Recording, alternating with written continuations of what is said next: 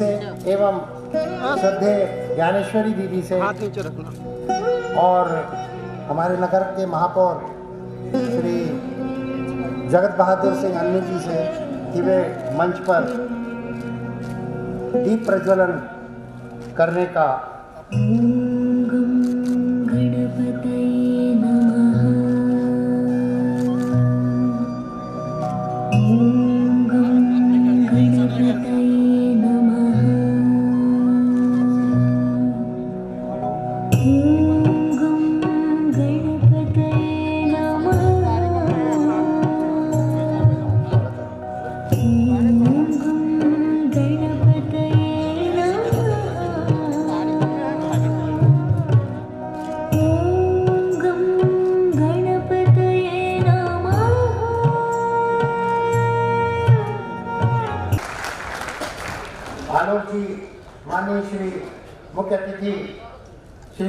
गडकरी जी का स्वागत करेंगे। जी का। स्वागत करेंगे प्रहलाद जी का स्वागत। आलोक जी करेंगे। मंच को पवित्र कर रही है। मैं अनुरोध करूँगा। आलोक जी आलोक जी माननीय श्री राकेश सिंह जी का स्वागत। और हमारे नगर के प्रथम नागरिक माननीय श्री जगत बहादुर सिंह अन्नू जी का स्वागत। आलोक जी करेंगे। और हाँ, बड़े हर्ष का विषय है कि पंडित भगवतीधर वाजपेयी जी जिनकी आज जन्मतिथि है उन मैं अनुरोध करूँगा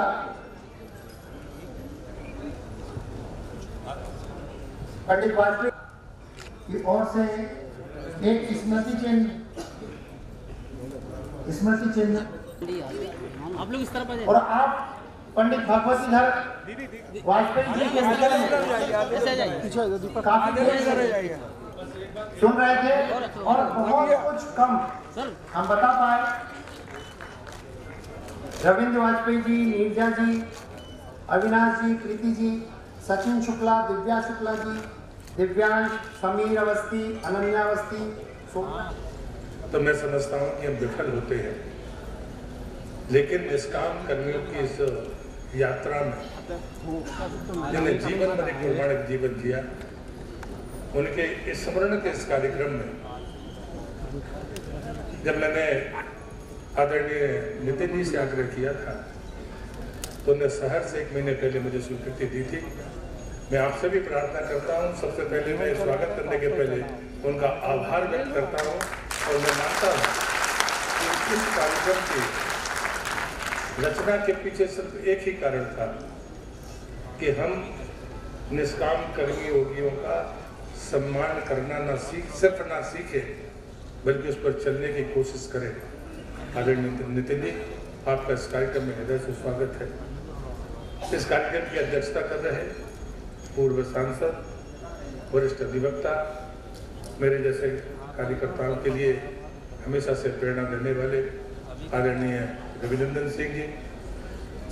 इस कार्यक्रम में आशीर्वाद देने के लिए शायद उन- वो ऐसे किसी मंच पर पहली बार आई होंगी, आदरणीय ज्ञानेश्वरी दीदी इस क्षेत्र के वरिष्ठ सांसद, हमारी पार्टी के संसदीय दल के हमारे व्यूप सचेतक, माननीय श्री राकेश सिंह जी। राज्यसभा की सांसद कार्यकर्ताओं को सम्मान की एक प्रतीक आदरणीय हमारी बहन, उनके लिए मैं चाहूँगा कि हम तालियाँ बजाकर उनका अभिनंदन करें। इस शहर के महापौर और मेरे अनुज सम्मानीय सिंह साहब, उनका भी मैं हृदय से स्वागत करता हूँ। रवि भैया मंच पर नहीं बैठ रहे थे, लेकिन उन्होंने कहा कि प्रतिनिधि के तौर पर आपको यहाँ पर बैठना चाहिए। मैं उनका भी इस अवसर पर इस नाते नहीं कि वो उनके पुत्र हैं बल्कि इस नाते में कि वे वरिष्ठ पत्रकार और प्रखर लेखक है, उस नाते उनका मैं हृदय से स्वागत करता हूँ। सामने इतने बड़ी संख्या में ऐसे मूर्धन्य लोग बैठे हैं, जिनके लिए मैं दोनों हाथ जोड़कर आपका तो हृदय से स्वागत करता हूँ। आदरणीय मंत्री भगवती धर वाजपेयी जी की ये संतानवी पुण्यतिथि व जन्म जयंती है। मैंने पंचानवे वर्ष और छियानवे वर्ष के इस कालखंड में अनेक बार मेरा उनसे मिलना सतत रहा है। जब मैं छात्र जीवन में था, जब हम विचार की राजनीति की दिशा तय कर रहे थे तो मैं ये कह सकता हूँ कि तब से मेरा उनसे अटूट संबंध रहा है। सिर्फ़ संबंध नहीं रहा, जिन चीज़ों को मैं कहता हूँ कि जब हम एक कार्यकर्ता के नाते किसी अच्छे काम में प्रयास करने के लिए पथित जब बनते हैं।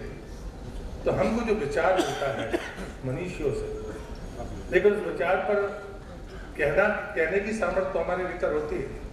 लेकिन हम कई बार उस पर चल नहीं पाते। लेकिन मैं एक अनुभव कहता हूँ। एक बार हमने एक आलोचना सुनी और आलोचना करने वाले कोई और नहीं थे। पहले मैं सोच रहा था कि मैं रवि वाजपेयी जी का नाम नहीं लूँगा। लेकिन मुझे लगता कि मुझे नाम लेना चाहिए। तो जब वो अखबार में कुछ लिखा तो संयोग सुबह जब मैं पहुँचा तो जो वाजपेयी जी ने कहा, मुझे लगता है कि वो पंक्ति बहुत ज़रूरी थी, इसलिए मुझे कहने की ज़रूरत है। उन्होंने कहा कि आलोचना हम आपस में भी एक दूसरे के करते हैं, लेकिन विरोध विरोधी करता है। हमें इस फ़र्क को समझना चाहिए। इतनी बारीकी के साथ कह देना आसान बात होती है, लेकिन उसको जीवन भर जीना बहुत कठिन काम होता है। मैं एक राजनीतिक कार्यकर्ता हूँ विचार की यात्रा में वो पत्रकार से लेकर, न जाने कितनी लंबी यात्रा तक उनकी गई है मैं विस्तार में नहीं जाऊँगा। आज कार्यक्रम विलंब से हुआ है। लेकिन मैं एक बात मैं ज़रूर कहूँगा कि हम पत्रकार के नाते सार्वजनिक जीवन में संबंधों के नाते, जो पद और प्रतिष्ठा प्राप्त करते हैं, उससे अलग भगवती धर वाजपेयी थे। वो कहते थे कि मैं स्वयं सेवक पहले हूँ।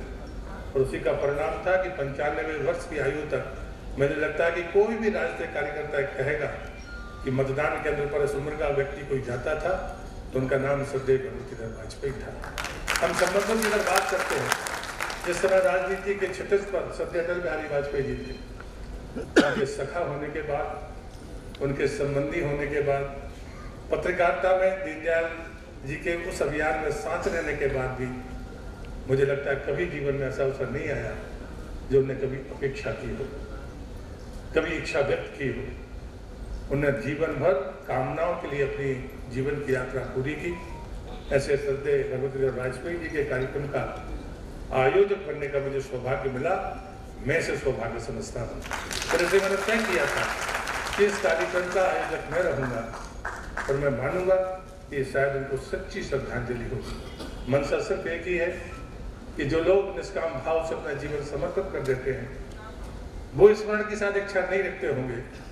लेकिन किसी भी संस्कार प्रधान व्यक्ति को या जो विचारों के प्रति अपना समर्पण मानता है, उसे ऐसी प्रतिभाओं का स्मरण ज़रूर करना चाहिए, ताकि आने वाली पीढ़ी कुछ सीख सके।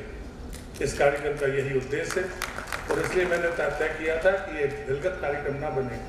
कुछ एक नर्मदा खंड सेवा संस्थान के बैनर पर मैंने ये कार्यक्रम किया। आप सब यहाँ पर पधारे हैं। मैं मंचस्थ सभी अतिथियों का हृदय से, मैं अपनी तरफ़ से और मेरे सहयोगियों की तरफ़ से क्षमा मांगती हूँ तो गलती हुई तो माफ़ करना। मैं आप सबका हृदय से अभिनंदन करता हूँ। और मैं मानता हूँ कि उसके लिए श्रेष्ठ व्यक्ति कोई हो सकते थे तो नितिन जी हो सकते थे। मुझे उनके साथ जीवन में काम करने का मौका मिला है मजदूरों के बीच में हो या पार्टी के बीच में काम करने का मौका मिला है?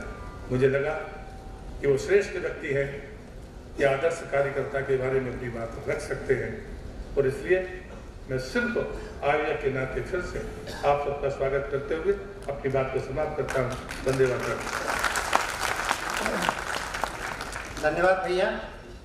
ये जो यहाँ बैठे हुए हैं और वहाँ बैठे हुए हैं, उनमें कोई अंतर नहीं है ये सब कार्यकर्ता ही है श्रेष्ठ कार्यकर्ता मंचासीन है। मैं आ, ये मंच क्योंकि संत के जन्म दिवस पर आयोजित है तो संत का होना यहाँ सर्वथा उचित है। मैं अनुरोध करूँगा श्रद्धे ज्ञानेश्वरी दीदी से और जब तक मैं आए तब तक मैं छोटी सी घटना बता देता हूँ अभी कि माननीय नितिन जी अभी जब आप रिंग रोड का उद्घाटन कर रहे हैं तो रिंग रोड जब बन रही थी तो सबके अपने अपने विचार थे। मैंने सोचा कि विराट हॉस्पिटल जल्दी पहुँच पाएँगे। किसी ने बोला कि शहर में घुसने की रास्ता अच्छी मिलेगी। ज्ञानेश्वरी दीदी ने बोला कि बहुत अच्छा रहेगा, रिंग रोड से परिक्रमा लग जाएगी। शहर के सभी मंदिरों की परिक्रमा एक बार में लग जाएगी। तो मैं अनुरोध करूँगा, श्रद्धे ज्ञानेश्वरी दीदी से कि वे अपने इस अवसर पर आशीर्वचन प्रदान करें। ॐ विश्वानि देव सवितन् दुरितानि परासुव यद्भद्रं तन्न आसुव ॐ अखण्डमण्डलाकारं व्याप्तं येन चराचरं, तत्पदं दर्शितं येन तस्मै श्रीगुरुवे नमः। मंचासीन सभी माननीय अतिथि, मैं सबका नाम लूँगी तो समय पहले ही बहुत कम है। सबका जबलपुर में मैं अपने पूरे संत समाज की तरफ़ से माननीय नितिन जी का और सभी अतिथियों का अभिनंदन करती हूँ। मैं बैठी सोच रही थी कि इतने विराट व्यक्तित्व के बारे में क्या कहा जाए। तो उनके व्यक्तित्व को चरितार्थ करता हुआ शास्त्र का एक छोटा सा वाक्य मेरे मस्तिष्क में बार बार कौंध रहा था। नीति शास्त्र का कथन है, यस्य पुत्रा वशीभूता भार्या छंदानुगामिनी विभवे यस्य संतुष्ट तस्य स्वर्ग इहैव यस्य पुत्रा वशीभूता जिसकी संतान उसके कहे के अनुसार चलने वाली है और उसके बताए हुए मार्ग का अनुसरण करने वाली है। तो मुझे ये कहने में कोई संकोच नहीं कि जिस महान विभूति की जयंती के उपलक्ष्य में आज का ये इतना विराट कार्यक्रम यहाँ पर किया जा रहा है, उनके दोनों पुत्र उनकी संतति किस प्रकार उनके चरण चिन्हों पर चल रही है, उनके पद चिन्हों पर चल रही है, ये उनकी तपस्या से भरे हुए जीवन, उनका संयमित जीवन और उनका दिव्य जीवन, उनके तपोमय जीवन का ही प्रभाव है। यश पुत्रा वशीभूता और भार्या छंदानुगामिनी। पत्नी जो है, वो छंदानुगामिनी है। छंदानुगामिनी अर्थात अपने परिवार को धर्म पथ पर चलाने वाली है। यदि परिवार धर्म पथ पर चल रहा है तो उसका अनुसरण करने वाली है, और यदि नहीं चल रहा तो उसको अपने साथ चलाने वाली है। और सबसे इंपॉर्टेंट सबसे महत्वपूर्ण, विभवे यश संतुष्ट। जब हम पूज्य बाबू जी के जीवन के बारे में पढ़ते हैं, मैंने जितना उनसे उनको देखा है, जितना उनको समझा है, जितना उनसे मैं मिली हूँ। विभवे यश संतुष्ट। भारतीय राजनीति के कितने उच्च स्तर तक वो जा सकते थे? परंतु उन्होंने अपने आप को कार्यकर्ता मात्र बनाकर रखा, अपने आप को सेवक बनाकर रखा और जिन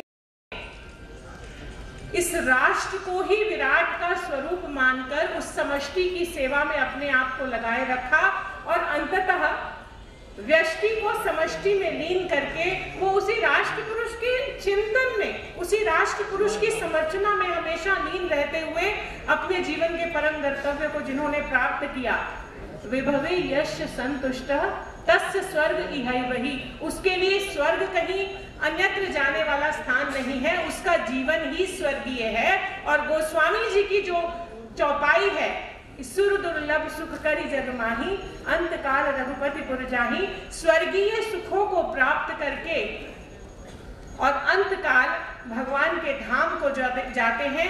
वो कौन लोग होते हैं? वो पूज्य बाबूजी, श्री भगवती धर वाजपेयी जी जैसे ही लोग होते हैं। और ये उनका समर्पण है, उनका त्याग है, उनका सादगी भरा जीवन है। और सबसे बड़ी बात, राष्ट्र के प्रति उनका जो चिंतन है मैं जितनी भी बार उनसे मिली, उनके मुँह से निकला हुआ एक एक शब्द, या तो राम है और या राष्ट्र है, और राम और राष्ट्र जिसके जीवन में रचे बसे हुए हों, उस व्यक्ति को आप क्या कहेंगे? मेरे पास उनके लिए कोई शब्द नहीं है, और मेरा, मैं उनके बारे में जब चिंतन करती हूँ तो मुझे ये लगता है कि यदि धर्म के प्रकाश में भारतीय अध्यात्मवाद के प्रकाश में यदि कोई राष्ट्रीय जीवन जीने वाला व्यक्ति कोई मूर्त रूप लेता है तो वो पूज्य भगवती धर वाजपेयी जी का ही रूप हो सकता है। और उन्होंने इस समाज को जितना दिया है, विचारधारा दी है, चिंतन दिया है, उस चिंतन का ही परिणाम है कि आज उनकी जयंती पर माननीय नितिन गडकरी जी और रविनंदन सिंह जी, प्रहलाद भाई, जितने लोग यहाँ पर हैं सब लोग उनके प्रति मैं अभी आ, हम लोग ग्रीन रूम में बैठे हुए थे तो हमारे नगर के प्रथम नागरिक भाई अनु जी बोल रहे थे कि मैं इस कार्यक्रम को केवल बाबूजी की जयंती के रूप में मनाने के लिए यहाँ आया ये समर्पण है। अभी प्रहलाद भाई बोल रहे थे कि मैं दलगत राजनीति से ऊपर उठकर इस कार्यक्रम को करना चाहता था और सही में ये उसी रूप में यहाँ पर आज उभर कर आया है। मैं प्रहलाद भाई को, प्रहलाद जी को बहुत बहुत बधाई देती हूँ कि उन्होंने इतने सुंदर कार्यक्रम का आयोजन किया और पूज्य बाबूजी के पूरे परिवार के प्रति मेरी बहुत बहुत मंगल कामनाएँ। और बाबूजी के चरणों में ही मेरा निवेदन भी है। वो सूक्ष्म रूप में यहाँ हमें कहीं सुन रहे होंगे तो उनसे मेरा निवेदन भी है कि वे अपने ही पद चिन्हों पर इस परिवार को और पूरे नगर को इसी प्रकार से चलने की प्रेरणा देते रहे। आप सबके प्रति बहुत बहुत मंगल कामनाएँ व्यक्त करते हुए मैं अपनी वाणी को विश्राम देती हूँ। हरिओम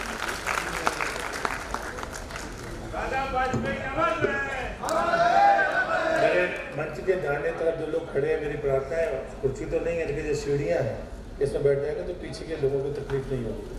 दाहिने तरफ़ जो मेरे हैं सीढ़ी पे बैठ जाएँगे तो ठीक रहेगा तो पीछे। कार्यकर्ता भाव को प्रदर्शित करते हुए सब जहाँ जिसको जो स्थान मिल जाए, बैठ जाए। आज धन्य में धन्य अति, यद्यपि सब विधिहीन निज जन जानी राम मोहि संत समागम दीन। संत के इस वक्तव्य, इस आशीर्वचन के बाद मैं श्रीमती सुमित्रा वाल्मीकि जी से अनुरोध करूँगा कि वे यहाँ पर आकर इस अवसर पर, इस पुनीत अवसर पर दो शब्द प्रकाशित करें और सबको उद्बोधन अपना प्रदान करें।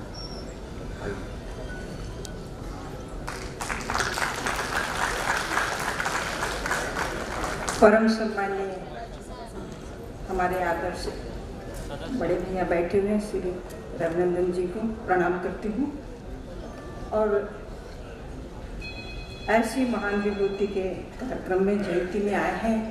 परम सम्मानीय केंद्रीय मंत्री हमारे अग्रज सम्मान्य नितिन गडकरी जी, उपस्थित सम्मानीय मंच, उपस्थित बंधुगण। दादाजी के बारे में मैं क्या कहूँ? मुझे तो शब्द ढूँढने पड़ रहे हैं, क्योंकि लगातार मैं बानबे से उनके साथ जुड़े, तब वो थैले में हर चीज़ रखा करते थे। तो जब वो रखते थे तो हमको पर्चे निकाल के दिया करते थे। शब्दों में तो नहीं कह पाती हूँ, ये तो आत्म विभोर हो रही हूँ उनके बारे में कहकर। कि मुझे यदि पहली पाठशाला कहीं मिली है तो बाबूजी से मिली है। और जब मैं नगर निगम में निन्यानवे दो चुनी गई थी तो उन्होंने कहा था, ये आपकी काखा गागा वाली पाठशाला है, इसको पढ़ो अच्छे से, और जो पढ़ेगा, वही आगे बढ़ेगा। मैं उनके शब्दों को इस तरह से आत्मसात करती हूँ, और एकदम साधारण जीवन उनका देखा मैंने। तो मुझे लगता है कि राजनीति बड़ी चकाचौंध है जीवन साधारण होगा, वही आदमी का आदर्श होगा। जय हिंद, जय भारत। कार्यकर्ताओं के लिए संक्षेप में एक गूढ़ मंत्र दीदी ने दिया। मैं अब अनुरोध करूँगा हमारे नगर के प्रथम नागरिक और जिनको हमने कार्यकर्ता के रूप में अभी भी देखते हैं, उसके बाद भी, अभी मेयर बनने के बाद भी। और मैं बस एक बात उनके सम्मान में, भगवती धर वाजपेयी जी के सम्मान में कहूँगा कि वो इलेक्शन था, वो खड़े हुए थे और उनके विरोध में कुंजीलाल दुबे जी कांग्रेस से खड़े हुए थे। जब उन्हीं के मोहल्ले में वे प्रचार करने आए तो वे खड़े हो गए कि अरे, कुंजीलाल जी आए हैं अपने मोहल्ले में और उनके प्रचार में निकल पड़े। तो ये वो युग भी था और आज भी उसी के आसपास का युग हमने अभी इस इलेक्शन में देखा है। मैं अनुरोध करूँगा माननीय अनु भैया से कि वे अपने विचार व्यक्त करें।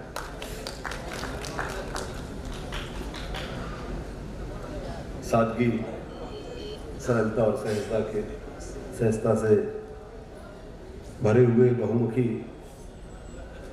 व्यक्तित्व के धनी अनेकों नेताओं का निर्माण करके खुद कार्यकर्ता बनकर अपना जीवन व्यतीत करने वाले, वैचारिक प्रतिबद्धता होने के बावजूद भी सभी राजनीतिक दलों से ऊपर उठकर अपना राजनीतिक और सामाजिक जीवन व्यतीत करने वाले राष्ट्र के प्रति पूर्णता, पूरे जीवन समर्पित। हमारे शहर के पत्रकारिता जगत के भीष्म पितामा आदरणीय भगविंदर वाजपेयी साहब को आज मैं नमन करता हूँ, प्रणाम करता हूँ।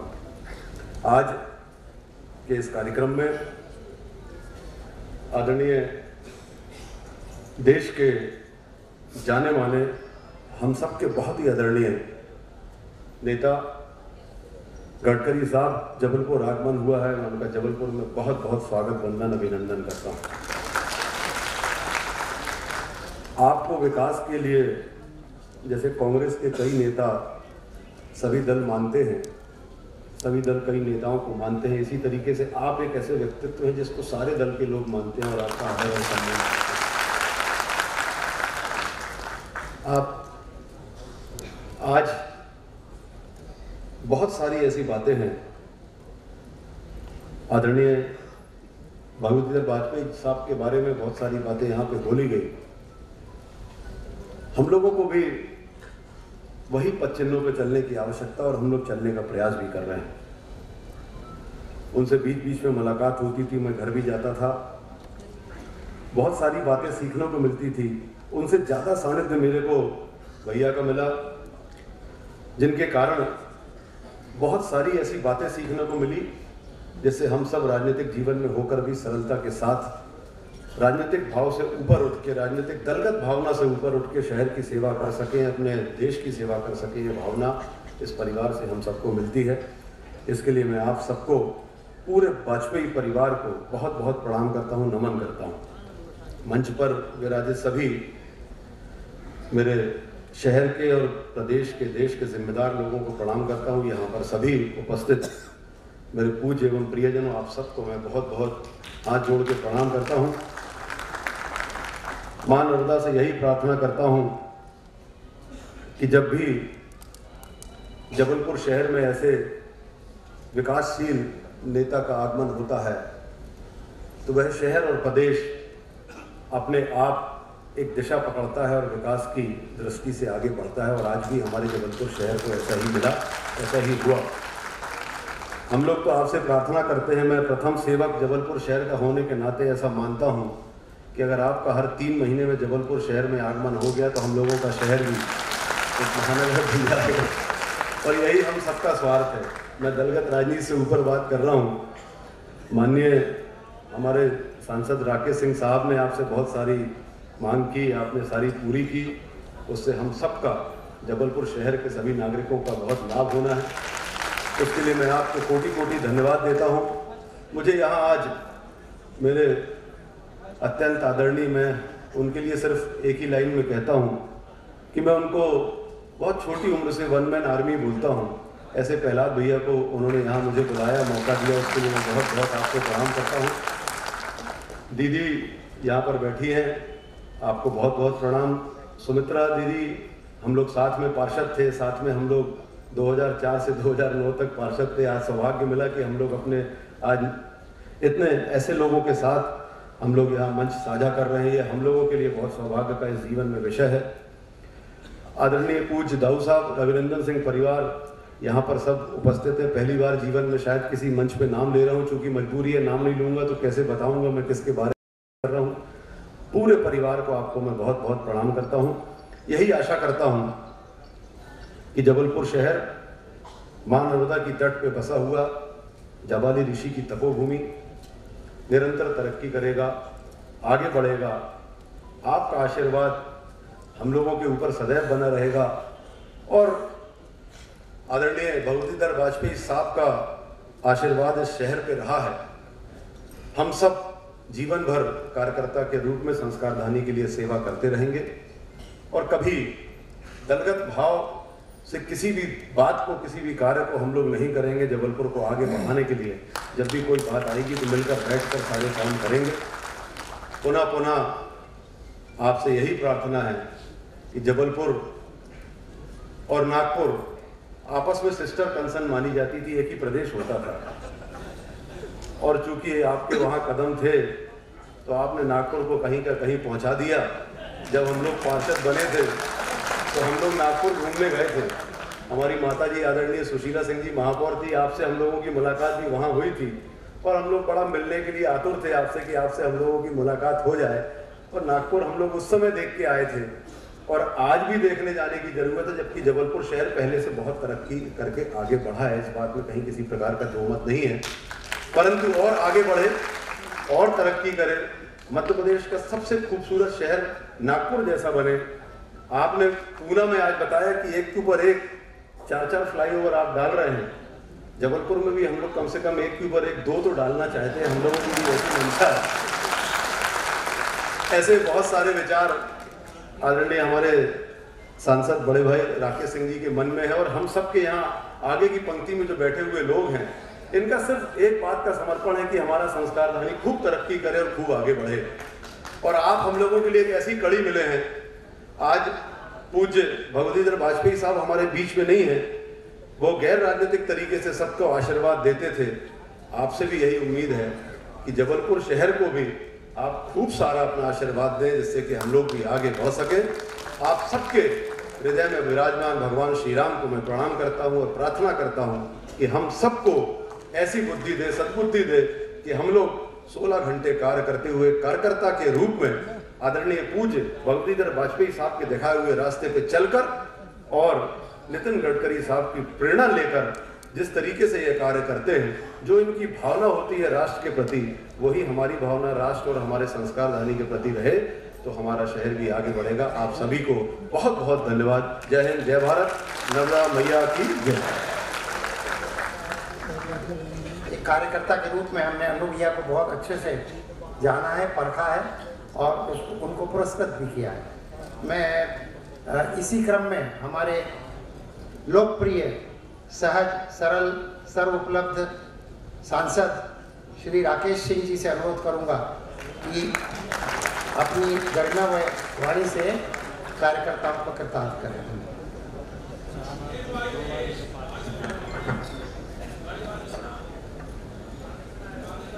आज के इस अत्यंत गरिमा में एवं सारगर्भित कार्यक्रम में हम सबके बीच में कार्यक्रम के मुख्य अतिथि के रूप में विराजमान, जो स्वयं कार्यकर्ताओं की पाठशाला है। देश में विचार, पार्टी और देश इसका ककहरा भी बड़ी संख्या में जिनसे लोगों ने सीखा है। ऐसे हम सबके मार्गदर्शक, देश के भूतल परिवहन मंत्री, श्रद्धेय नितिन गडकरी जी, और आज विशेष रूप से अनु जी ने भी विकास के कार्यों की बात की। आज बहुत व्यवहारिक ये मंच नहीं है, लेकिन आज जबलपुर को जो उन्होंने दिया है, जबलपुर के इतिहास में इससे पहले कभी जबलपुर को इतना नहीं मिला। पाँच हज़ार करोड़ से ज़्यादा के काम तो स्वीकृत कर गए।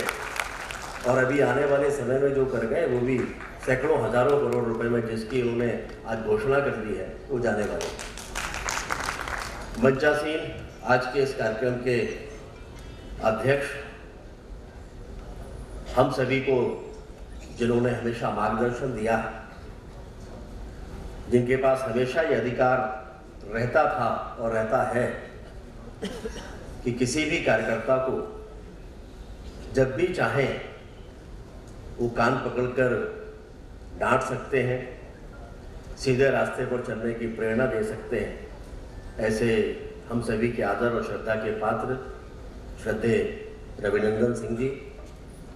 मंचा सिंह आदरणीय दीदी, जो वास्तव में अद्भुत काम करती हैं, जिसकी चर्चा बहुत कम होती है। कैंसर के ऐसे भीषण रोगी जिनको उनके परिवार के लोग भी नहीं देख सकते, उनकी सेवा का कार्य विराज हॉस्पिस के माध्यम से करती हैं। आदरणीय दीदी ज्ञानेश्वरी जी, आज के इस कार्यक्रम के आयोजक मध्य प्रदेश, केंद्र के राज्य मंत्री सम्मानीय प्रहलाद पटेल जी सिंह राज्यसभा में सदस्य सम्मानीय बहन सुमित्रा वाल्मीकि जी, नगर के महापौर, आदरणीय जगत बहादुर अन्नू जी, आदरणीय रवि वाजपेयी जी, आज के इस कार्यक्रम का कुशल संचालन कर रहे हैं डॉक्टर गुमाश्ता जी, उपस्थित सभी सम्मानित जन। मैं भली भांति जानता हूँ कि आज जितने लोग भी यहाँ पर एकत्रित हैं, सबके मन में एक ही भाव है। श्रद्धे दादा वाजपेयी जी को श्रद्धांजलि देने का। और सबके पास उनको लेकर ऐसी सुनहरी यादें हैं जिनको एक साथ करोना शायद संभव नहीं है, क्योंकि वो इतनी विस्तृत हैं और सभी के पास कहने के लिए बहुत कुछ है। मैं इतना ही कह सकता हूँ कि बहुत पहले से कार्यकर्ता के रूप में उनका मार्गदर्शन, उनका स्नेह सदैव प्राप्त हुआ।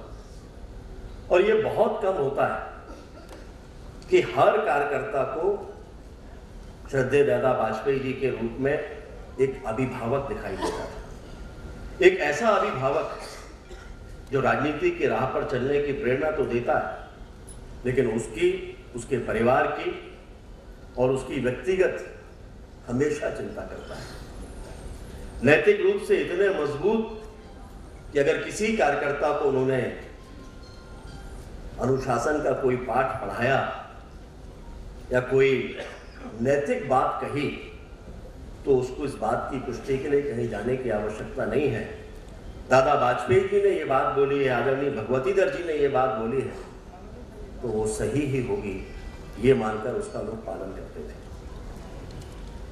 बहुत बार ऐसी परिस्थितियाँ बनती थी कि जब कई लोगों के बीच में तालमेल बनना हो तो तालमेल कौन बनाए? तो दादा वाजपेयी जी का एक सहज और स्वाभाविक नाम होता था, जो किसी को भी कहीं भी किसी भी स्थान पर बैठा सकते थे। मुझे याद है कि पार्टी का अध्यक्ष रहते हुए उनका मार्गदर्शन एको बार मिलता था। जब लोकसभा की टिकट मिली, दादा आशीर्वाद देने के लिए आए, मैंने उनसे कहा कि मैं तो स्वयं आपके पास आने वाला था। उन्होंने कहा, भाई, तुम पहले कार्यकर्ता थे, अध्यक्ष थे, लेकिन अब तुम हमारे लोकसभा के प्रत्याशी और इस नाते से मुझे लगा कि मुझे तुम्हारे पास पहले जाना चाहिए। आए, आशीर्वाद दिया, कई सारी बातें समझाई, जो हमेशा काम आती रही। बहुत कम लोगों को मालूम होगा कि दादा वाजपेयी जी उनमें से थे जिनकी कथनी और करनी में कोई फ़र्क नहीं था। अगर कार्यकर्ताओं को काम करने के लिए कहते थे तो करके बताते थे। आखिरी समय तक जब तक उनका शरीर चला है, अपने मतदान केंद्र पर पर्ची उन्होंने किसी को नहीं बांटने दी। घर घर जाकर एक एक पर्ची अपने हाथों से बांटा करते थे, ऐसे दादा वाजपेयी जी। अन्नू जी कह रहे थे कि उनके रास्ते पर चलने की प्रेरणा अन्नू जी नुकसान में रहोगे। उनके रास्ते पर चलोगे तो कमल को वोट दे के आ जाओगे। क्योंकि जीवन भर उन्होंने पार्टी की ही हितों की चिंता की है। किसी भी दल का व्यक्ति हो, नैतिक रूप से उसको ताकत वो देते थे, मार्गदर्शन करते थे।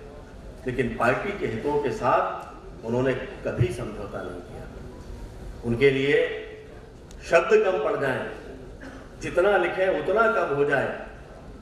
एक जीते जागते ऐसे विचार थे और विचार कभी मरता नहीं। और इसीलिए दादा सभी की स्मृतियों में हमेशा विराजमान रहेंगे जयंतियाँ उनकी आती रहेंगी। लेकिन जब तक उनसे मिलने वाला कोई एक भी व्यक्ति शेष रहेगा, वो यही कहेगा कि कार्यकर्ता हो तो श्रद्धे दादा भगवती दर वाजपेयी जैसे उनके चरणों में श्रद्धा सुमन अर्पित करते हुए मैं ये उम्मीद करता हूँ कि दादा जहाँ भी हैं, हम सभी को वे अपना आशीर्वाद दे रहे हैं। उनके चरणों में बारंबार नमन, बहुत बहुत शुभकामनाएँ। धन्यवाद माननीय सांसद महोदय। मैं अध्यक्षीय उद्बोधन के लिए रविनंदन सिंह जी को अनुरोध करूँ। वे वहाँ ग्रीन रूम में मुझसे पूछा कि मुझे कितनी देर बोलना है? मैंने कहा, अध्यक्ष को तो बोलना दूसरों को बताना पड़ता है कि कितना बोलना है उनका तो उनका अपना समय होता है। और वैसे भी वे एडवोकेट जनरल रहे हैं और न जाने कितने पदों को, को उन्होंने सार्थक किया है। मैं उनसे अनुरोध करूँगा कि वे मंच पर यहाँ पर उपस्थित होकर अपना अध्यक्षीय उद्बोधन प्रदान करें। हमारे बीच यहाँ पर परम पूज्य श्री कृष्णकांत चतुर्वेदी जी विराजमान हैं श्रीमती चतुर्वेदी जी विराजमान है श्री अजय विश्नोई विधायक जी, विराजमान है श्री जालम सिंह जी पटेल, विराजमान है संजय यादव जी विराजमान है, श्री धर्मेंद्र सिंह लोधी जी, श्री पी एल कतुआ जी विराजमान है, हम सब उनका स्वागत करते हैं। और इसके अलावा यहाँ पूर्व नगर अध्यक्ष, पूर्व विधायकगण और पूर्व पदाधिकारी और सभी कार्यकर्ता यहाँ उपस्थित हैं। सबको हम नमन करते हैं। मैं अनुरोध करूँगा अध्यक्षीय उद्बोधन हेतु श्री रविनंदन सिंह जी को कि वे अपना अध्यक्षीय उद्बोधन प्रदान करें।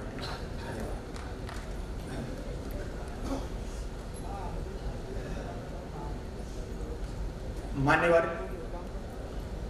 नितिन गडकरी जी जो आज इस कार्यक्रम के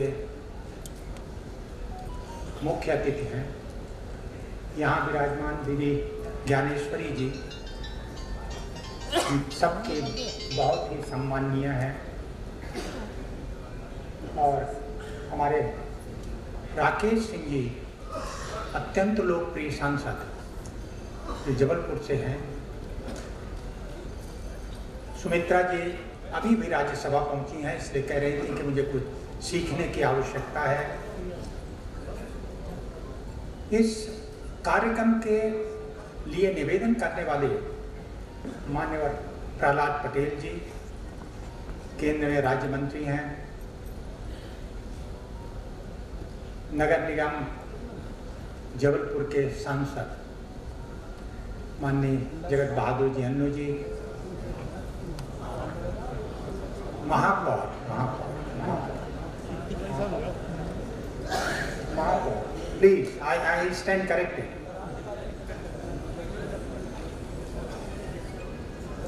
और रवि वाजपेयी जी जो यहाँ भगवतीधर वाजपेयी जी के सुपुत्र हैं। प्रथम पंक्ति में बैठे हुए जनप्रतिनिधि, इस नगर के प्रमुख, प्रबुद्ध, देवियों, सज्जनों तथा कार्यकर्ता बंधु। भगवती धर जी, जब रिऑर्गेनाइजेशन ऑफ़ स्टेट हुआ, इसके बाद जबलपुर आए।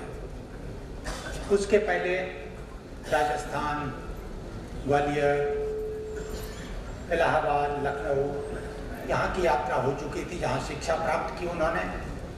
और इसके बाद दो अपने जीवन में उन्होंने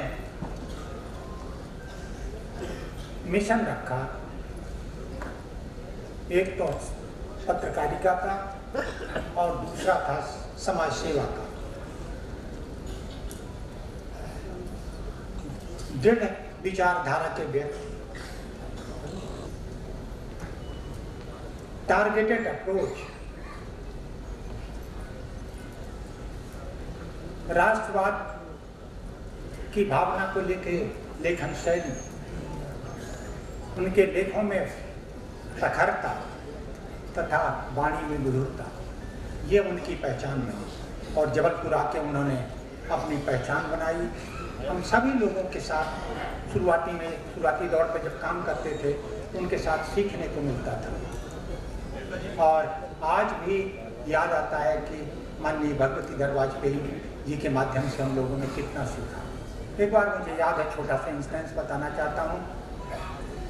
युग धर्म से सेवानिवृत्त हो चुके थे। हम लोगों ने आग्रह किया, सध्या भाभी जी यहाँ की सांसद हैं, सांसद थी उस समय, वो थी, बाबूराव जी परांज पे थे मनोहर राव जी सहसुद्धे थे, मैं भी उनके साथ था, माननीय निर्मल जी थे। हम लोगों ने उनसे आग्रह किया कि नगर के अध्यक्ष बन जाए। यद्यपि उनके कद को देखते हुए, उनकी वरिष्ठता को देखते हुए ये बहुत छोटा पद था। उनके साथ काम करने वाले केंद्र में बहुत अच्छे अच्छे पदों पे थे, प्रांत में बहुत अच्छे अच्छे पदों पे थे, फिर भी उन्होंने स्वीकार किया। और वो कार्यकाल अभी भी लोग याद करते हैं, जिसका ज़िक्र अभी सांसद राकेश सिंह जी कर रहे थे। अविस्मरणीय वो क्षण थे। इसी तरह से एक बार राम जन्म मंदिर राम जन्मभूमि का और मंदिर निर्माण का कार्य चल रहा था। उस समय 1992 में कुछ गिरफ्तारियाँ हुई। और उस गिरफ्तारी में माननीय वाजपेयी जी को भी गिरफ़्तार किया गया। और लंबी गिरफ्तारियाँ थीं। उनको कोर्ट से कहा उनको कहा गया कि आप मुचलका भर दीजिए। और उन्होंने रिफ्यूज कर दिया कि मैं मुचलका नहीं दूँगा। क्योंकि राम जन्मभूमि के लिए मैं काम कर रहा हूँ, इसके लिए मैं मुचलका दूँ हम लोगों ने कहा कि हो सकता है पंद्रह दिन, पच्चीस दिन आपको जेल में रहना पड़े। उन्होंने कहा, चाहे जितने दिन रहना पड़े। तब रात को जाके 10 बजे हैवियस कॉर्पस पिटीशन लगाई गई। चीफ जस्टिस के बेंच में वो मैटर लगा और उनको बिना मुचलका भरे हुए वहाँ से छूट दी गई कि आज ही छोड़ा जाए बारह बजे छूट के बाहर आए। इस तरह के सिद्धांत वाले व्यक्ति ऐसे व्यक्ति को बार बार याद करना शायद हमारे मन में हमेशा बना रहता है और हम आप याद भी करते हैं। और उनके बारे में जितना भी बोला जाए तो हर कार्यकर्ता, जैसे अभी राकेश जी कह रहे थे कि हर कार्यकर्ता के मन में कुछ न कुछ ऐसी चीज़ें हैं जो बोलना चाहता है जो दूसरे को शायद न मालूम लेकिन आज का दिल माननीय प्रहलाद जी ने अभी अविस्मरणीय बना दिया है। हमको हमेशा याद रहेगा। इसलिए कि कार्यकर्ताओं के लिए ये वर्कशॉप आ गया, जो कि पार्टी वर्ग से जुड़े हुए लोग नहीं हैं, जो बाहर के लोग भी हैं। और ऐसे लोग हैं जो उनको चाहते थे, या उनके परिवारजनों को चाहते हैं आप गडकरी जी यहाँ आए, बहुत बड़ी सौगात दी आपने जबलपुर के लिए। राकेश सिंह जी अभी कह रहे थे कि इतनी बड़ी सौगात अभी तक मिली नहीं, पर और भी कुछ मिलना चाहिए। कार्यकर्ताओं का मानस देख रहे हैं, कांग्रेस और बीजेपी में आपको ये अंतर नहीं दिख रहा। है दोनों राजनीतिक विचारधारा है, दोनों पॉलिटिकल पार्टीज़ हैं, आपस में चुनाव लड़ते हैं। चुनाव लड़ के आते हैं और एक साथ बैठ के काम करते हैं। जब यहाँ के महापौर जी बोल रहे थे तो उन्होंने भी यही बात कही। तो राकेश सिंह जी के मांग से आपने पाँच हज़ार के लगभग का यहाँ प्रोजेक्ट दिया। पाँच हज़ार पाँच हज़ार, पाँच करोड़, पाँच हज़ार पाँच हज़ार पाँच हज़ार करोड़ का प्रोजेक्ट आया। अब और कुछ आए, जिस तरह से अनु जी कह रहे थे, मैं इतना ही अनुरोध करूँगा, और बहुत सारी सी बातें हैं कहने के लिए। वाजपेयी जी के परिवारजनों को ढेर सारी सी शुभकामनाएँ इस काम को, इस आयोजन के लिए। और ये नर्मदा खंड सेवा संस्थान के जितने पदाधिकारी हैं, वो भी बधाई के पात्र हैं और इस तरह के कार्यक्रम यदि होते रहेंगे तो शायद गडकरी जी यहाँ आते रहेंगे और इस तरह की सौगात हमको मिलती रहेगी। बहुत बहुत धन्यवाद। आप सबको बहुत अध्यक्षीय उद्बोधन के लिए बहुत बहुत धन्यवाद। साधुवाद।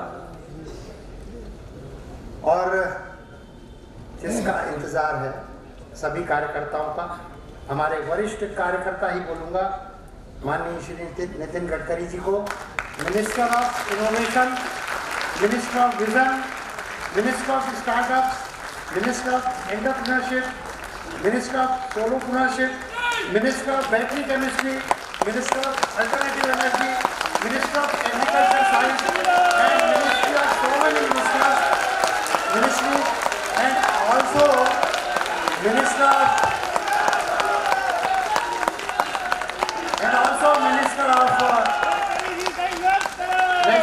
national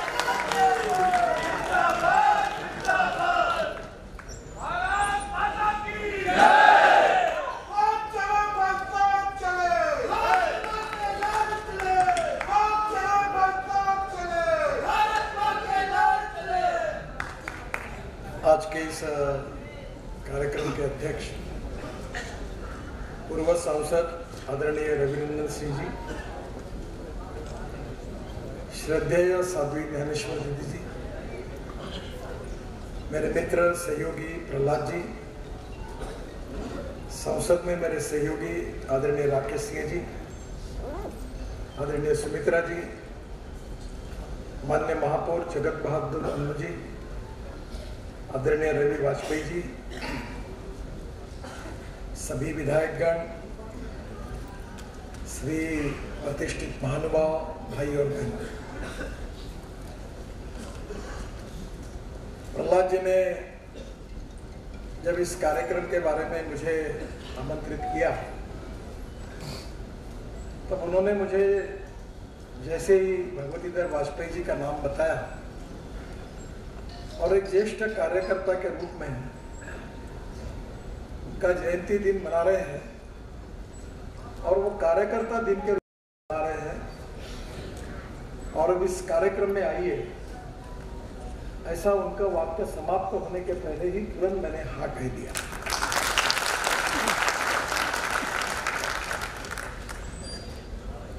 वैसे, मेरे बारे में बहुत अच्छी अच्छी बातें प्रहलाद जी ने और राकेश जी ने कही है। वो सब सच है, ऐसा अगर मैं कहूँगा तो मेरे ऊपर अन्याय होगा। और झूठ है, कहूँगा तो उनके ऊपर अन्याय होगा। मैं बहुत छोटा सा कार्य करता हूँ। और मैंने अपने जीवन की शुरुआत एक दीवारों पर लिखने का काम करने से शुरुआत की और मेरा हैंडराइटिंग बहुत गंदा था। तो काली दीवार पर सफ़ेद चुना लगाने का काम मैं करता था उस समय टेक्नोलॉजी नहीं आई थी। और फिर हमारे में से जो कार्यकर्ता का हस्ताक्षर अच्छा था वो फिर जनसंघ के नाम पर कुछ लिखता था उसमें अटल जी की सभाएँ चलो कस्तूर वगैरह, वो लिखता था। तो मैं उसी के लायक जब पोस्टर चिपकाने की बात आती थी तो पोस्टर चिपकाने के लिए वो अगर हाथ किसी का लग जाए तो पोस्टर फाड़ देते थे। तो मैं स्टूडेंट था। तो हमारे इलेक्ट्रिसिटी बोर्ड के कर्मचारियों को पटाते थे रात को। और प्रिंटिंग प्रेस से चिक्की लेके आते थे। और उस पोस्टर पर चिक्की चिपकाते थे और उस एक निशानी लेकर वहाँ से चढ़ते थे, ऊपर और पोस्टर चिपकाते थे। तो मैंने अपने जीवन में उसी की शुरुआत की। फिर मैं स्टूडेंट लीडर बना और विद्यार्थी नेता के रूप में नागपुर यूनिवर्सिटी में विद्यार्थी परिषद का कार्य करता था। जब पचहत्तर की इमरजेंसी आई तो काफ़ी लोगों को अरेस्ट किया गया। और एक कार्यकर्ता के रूप में उस समय मेरी माँ जनसंघ का कार्य करती थी। तो मुझे उस समय संघ के स्वयंसेवक के नाते इमरजेंसी के खिलाफ जयप्रकाश जी के आह्वान पर भूमिगत रखकर काम होने, काम करने की, करने के अवसर मिला। वैसे जीवन का संघर्ष हमारे, मेरी पीढ़ी ने ज़्यादा नहीं किया है। भगवतीधर जी की जो पीढ़ी थी जो जनसंघ के स्थापना से जो उन्होंने कार्य शुरू किया था, या उसके पहले भी डॉक्टर हेडगेवार जी ने 1932 में राष्ट्रीय स्वयंसेवक संघ की स्थापना की थी, उस समय उन्होंने जीवन में बहुत संघर्ष किया। न मान था, न सम्मान थी, न प्रतिष्ठा थी। और उस समय लोग काम करते थे डिपॉजिट जब्त होने के बाद। मुझे याद है कि जिनका डिपॉजिट जब्त नहीं हुआ, उनका सत्कार करते थे। ये बहुत बड़े महानुभाव है कि ये चुनाव लड़े, पर इनका डिपॉजिट जब्त नहीं हुआ, इसलिए इनका सत्कार करते थे भगवतीधर जी उस समय के कार्यकर्ता और उस समय संघ का या जनसंघ का काम करना बहुत कठिनाई थी अलू दस्तूर करके एक बहुत विद्वान विदुषी है, उन्होंने एक बहुत सुंदर बात कही है। उन्होंने कहा कि नदी का प्रवाह जब बहता है तो जो काड़ी कचरा जो होता है, वो प्रवाह के साथ फैल, बह जाता है। जो मरी हुई मछली रहती है, वो प्रवाह के साथ बह जाती है। और जो जिंदी मछली होती है, वो हर समय प्रवाह के खिलाफ तैरती है, ये उसके जिंदे पर का लक्षण है। भगवती जी के बारे में यही था कि उस समय संघ के स्वयंसेवक के रूप में और भारतीय जनसंघ के कार्यकर्ता के रूप में और एक राष्ट्रवादी पत्रकार के रूप में अटल जी का सानिध्य उनको मिला। और ग्वालियर में पत्रकारिता में अटल जी के साथ उन्होंने काम किया। और जीवन भर एक पत्रकार के रूप में उन्होंने पत्रकारों के मूल्यों के लिए समर्पित होकर काम किया। जनसंघ और संघ के प्रति उनकी कटिबद्धता थी और राष्ट्रवाद के विचारों के प्रति जो कटिबद्धता थी, उसके अनुरूप उन्होंने अपने जीवन को व्यतीत किया। मैं बहुत बार एक बात याद रखता हूँ, जो विशेष मेरे जैसे लोगों ने, जो विधायक है, सांसद है, मंत्री है, मुख्यमंत्री है बड़े बड़े मंत्री, उन्हें याद रखनी चाहिए कि मुख्यमंत्री कभी पूर्व मुख्यमंत्री बन जाता है। मंत्री कभी पूर्व मंत्री बन जाता है। सांसद कभी पूर्व सांसद बन जाता है, विधायक कभी पूर्व विधायक बन जाता है, नगर सेवक कभी पूर्व नगर सेवक बन जाता है और कार्यकर्ता कभी पूर्व कार्यकर्ता बन जाता है।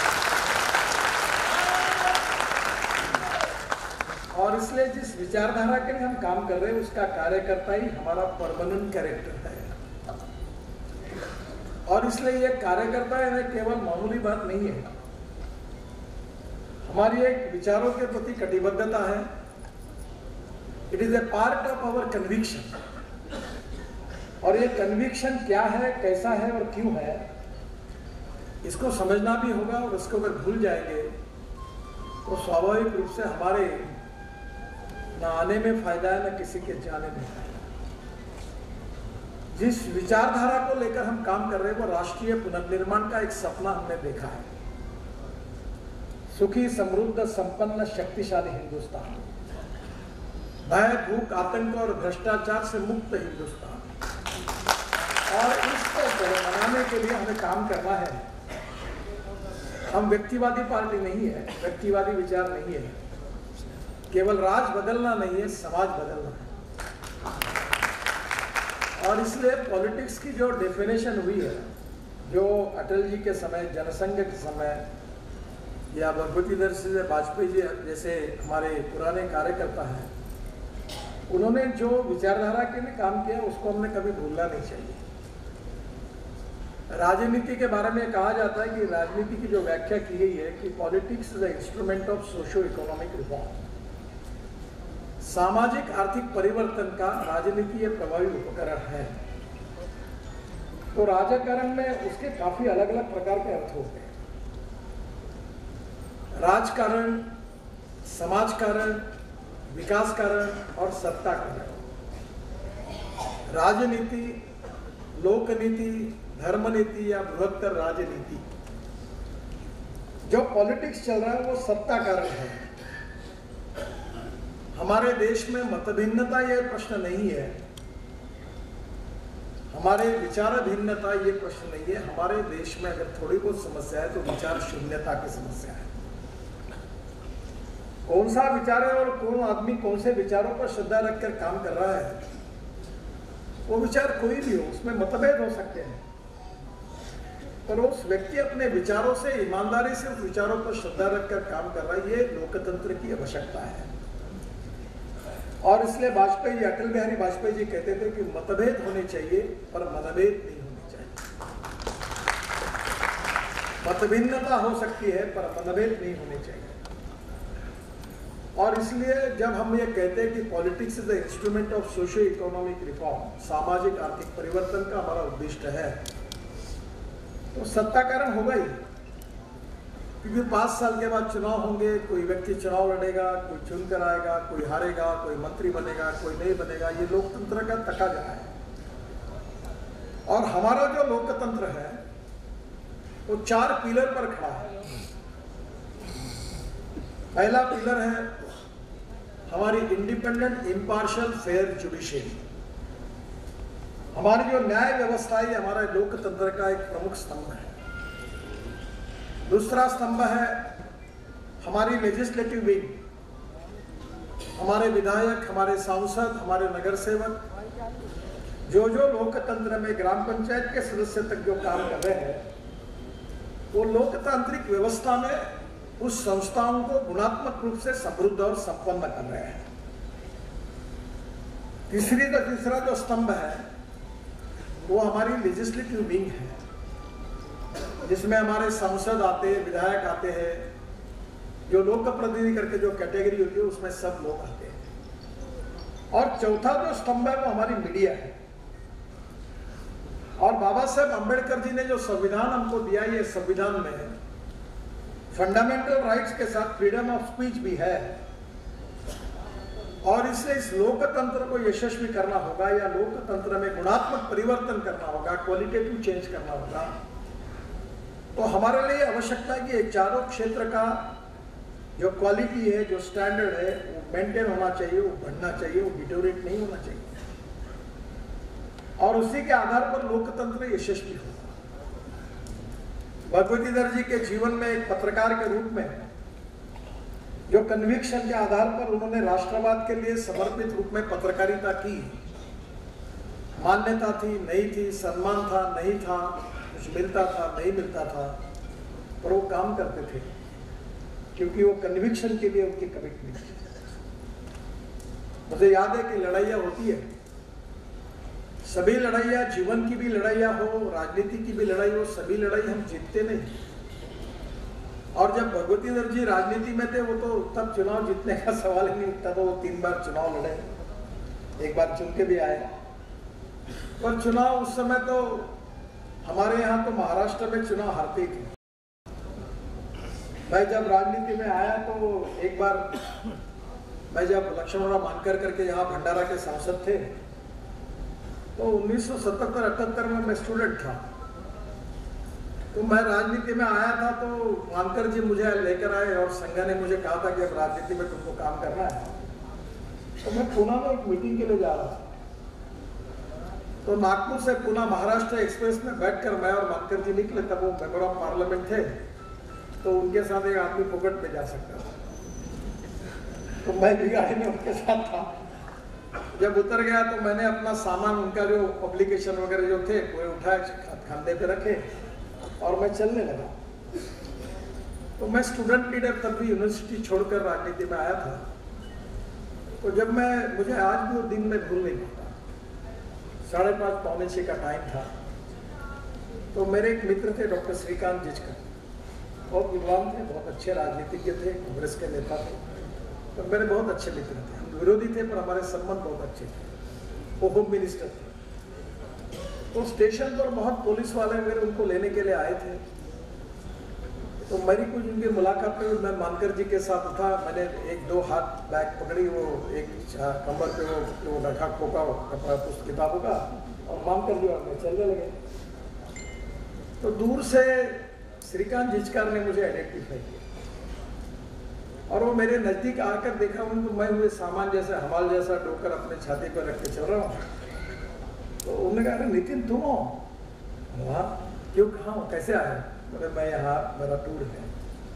बोले, क्या नितिन, तुम इतने अच्छे व्यक्ति हो। तुम्हारे में बहुत पोटेंशियल है।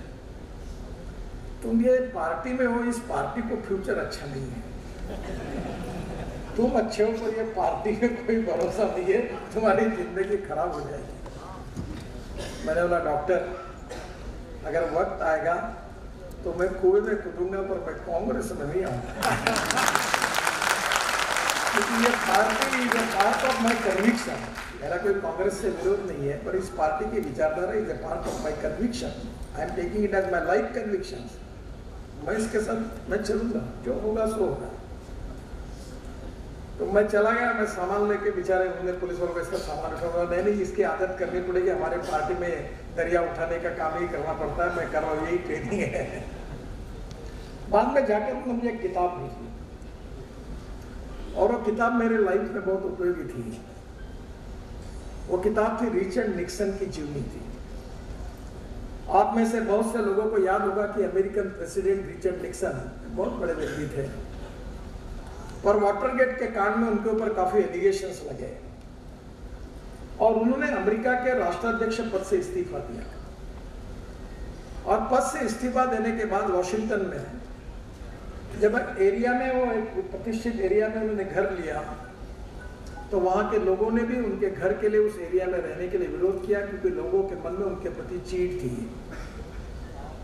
उस समय रिचर्ड निक्सन ने अपने जीवन पर एक आत्मचरित्र लिखा था। तो श्रीकांत जिचकर ने वो कॉपी मेरे पास भेजी थी। जब मैंने पूरा किताब पढ़ा तो उसमें एक सुंदर वाक्य था। वो वाक्य ने मेरे जीवन में मुझे बहुत उत्साह भी दिया पॉजिटिविटी भी दी और मुझे लगा कि भविष्य में कुछ अच्छा हो सकता है। वो वाक्य ऐसा था कि man is not finish when is defeated but he, he is finished when he युद्ध में हारने के बाद कोई समाप्त नहीं होता। युद्ध भूमि छोड़कर जब भाग जाता है, तब वो समाप्त होता है। तो लड़ना चाहिए। अटल जी के नेतृत्व में, श्यामा प्रसाद मुखर्जी के नेतृत्व में, दीनदयाल उपाध्याय जी के नेतृत्व में, नानाजी देशमुख के नेतृत्व में लगातार लोग लड़ते रहे। और ऐसे कार्यकर्ताओं की जबलपुर में भी कमी नहीं है। मान नहीं था, सम्मान नहीं था, प्रतिष्ठा नहीं थी, सत्ता नहीं थी। और वो लड़ते थे, काम करते थे, एक सुनहरे सपने के कन्विक्शन के रूप में लगातार चलते थे, चल रहे थे। संकट आते थे, समस्याएँ खड़ी होती थी। और निराश नहीं हुए वह चलते रहे, उन्होंने अपने जीवन को समर्पित किया और विचारधारा को और संगठन को लगातार बड़ा करने की कोशिश की। आज हमारे जैसे लोगों को बहुत अच्छा स्थान मिला। मैं जेड प्लस कैटेगरी में हूँ। पचास पुलिस मेरे आगे पीछे घूमते हैं। मैंने एक को एक मंत्री को कहा, इसके ऊपर मत जाना। जिस दिन मंत्री पद जाता है, उस दिन तुरंत निकल जाते ये दिया, ये सलामी, ये सब, इसमें ज़्यादा इन्वॉल्व नहीं होना चाहिए। क्योंकि ये व्यक्ति के लिए नहीं होती, पद के लिए होती है। ये जो सम्मान होता है, वो व्यक्ति का ही होता है।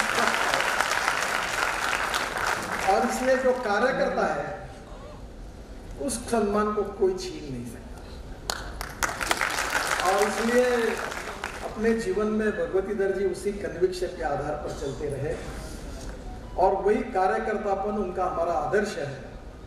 और उसी भाव से उनको मेरी श्रद्धा, श्रद्धांजलि या सुमनांजलि अर्पित करने के लिए मैं आया हूँ। क्योंकि मैं अक्सर इस बात पर विश्वास रखता हूँ कि हम दो चार रहे न रहे पर तेरा वैभव अमर रहे माँ। ये हमारा और इसीलिए जीवन में समर्पित भाव से एक राष्ट्रीय पत्रकार के रूप में, एक स्वयंसेवक के रूप में, एक कार्यकर्ता के रूप में उन्हें राष्ट्र के पुनर्निर्माण के लिए अपने जीवन को दिया। वो समय भी कठिन था। प्रजा समाजवादी पार्टी और बाकी जबलपुर में राजनीति, उस समय जनसंघ के लिए अनुकूल नहीं थी महापुरुष। लोग काम करते रहे। और आज हम जो भी कुछ है, जो भी हमें सत्ता मिली वो केवल हमारी क्रेडिट नहीं है अगर सही में अगर आज ये दिन देखने के लिए मिला है तो संघ की स्थापना से लेकर और जनसंघ की स्थापना से लेकर जो लाखों कार्यकर्ताओं ने अपना जीवन इस पार्टी के लिए, इस विचारधारा के लिए समर्पित किया उनके बलिदान और त्याग के कारण आप इस। अगर वो ये नहीं करते तो हम यहाँ नहीं दिखते। और इसलिए स्वाभाविक रूप से हमें सबको विचाराधिष्ठित सिद्धांत निष्ठ राष्ट्र के पुनर्निर्माण के अनुरूप समर्पित भाव से काम करने के कन्विक्शन के आधार पर चलना चाहिए।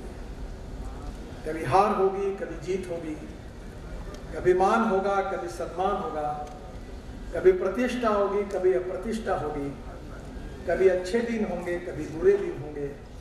और हमारे विचारधारा संगठन को लेकर हमको चलते ही रहना है और उसके साथ कमिटमेंट रखकर आगे ही जाना है। यह भाव कार्यकर्ता के रूप में हमारे मन में रहेगा।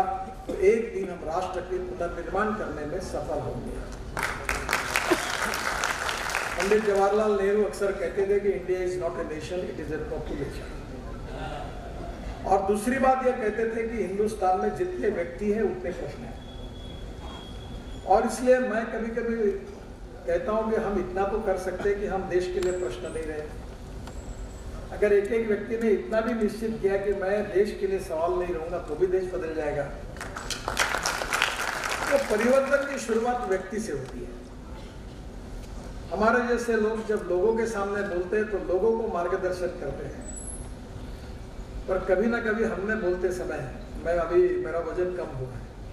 एक समय में 145 किलो का 135 किलो का, अभी 90 किलो तो मैं खाने का बड़ा शौकीन था। तो रात को अभी भी मैं कभी मुंबई में अठारह साल रहा हूँ तो और मैं भी फुटपाथ फुटपाथ पर खाने का बड़ा शौकीन था स्ट्रीट फ़ूड में। अब मेरा प्रॉब्लम होता है कि मैं जाऊँ तो पचास पुलिस वाले बंदूक लेके आते तो मैं जा नहीं सकता। तो मैं रात को बोलता हूँ कि अब मैं सो रहा हूँ, आप जाओ घर पे। सब गए कि दो चार दोस्त मिलकर निकलते हैं।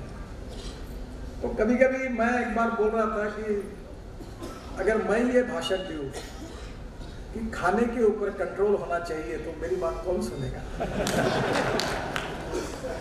कथनी और करनी में अंतर नहीं होना चाहिए।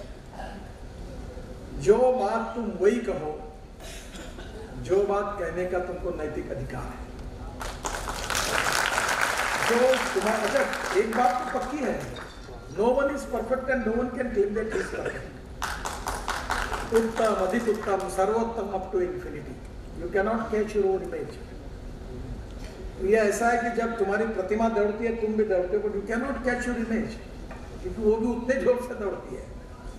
तो 100 percent perfection is a impossible concept और इसलिए संघ और विद्यार्थी परिषद में ये विचारधारा लेकर काम चला कि कार्यकर्ताओं को उसके गुणदोषों के साथ हम स्वीकारते हैं।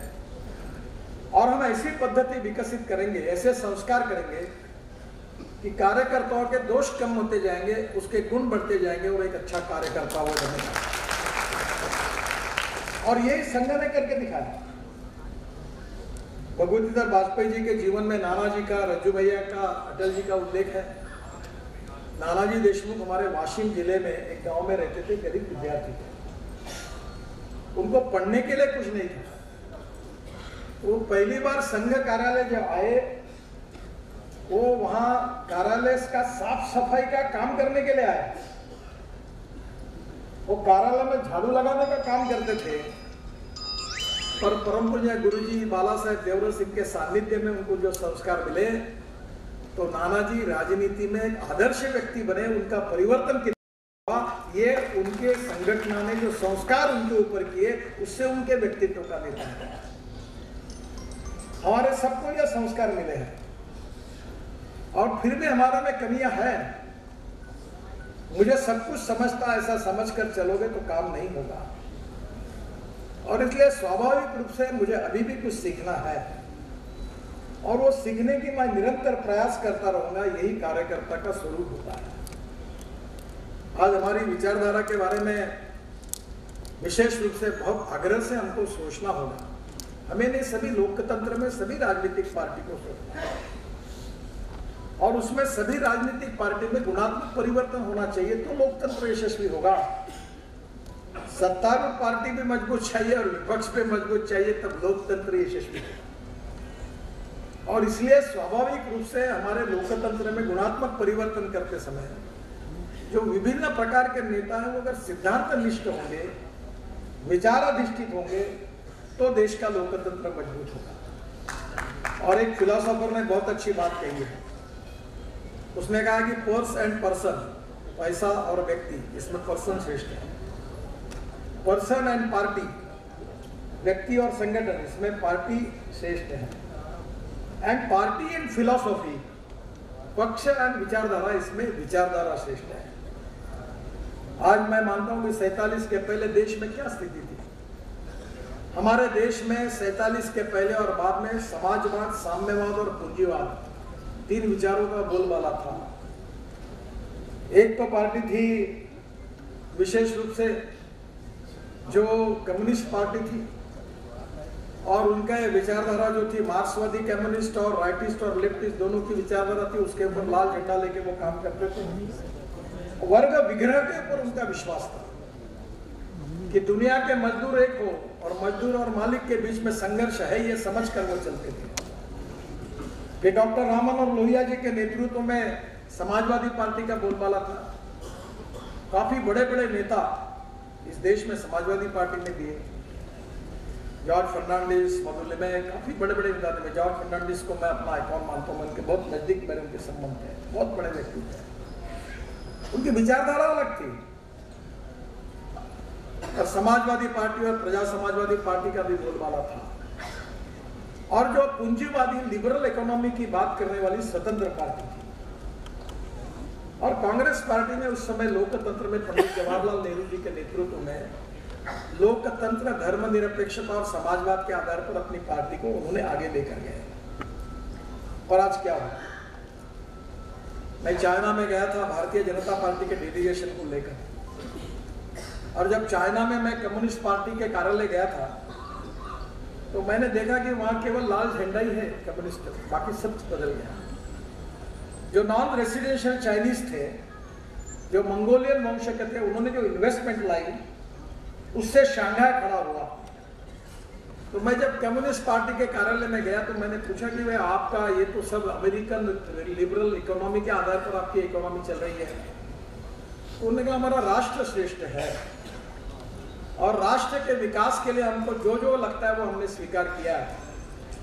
तो लाल झंडा केवल था पर विचारधारा, हमने अमेरिकन लिबरल इकोनॉमिक्स को स्वीकार किया था।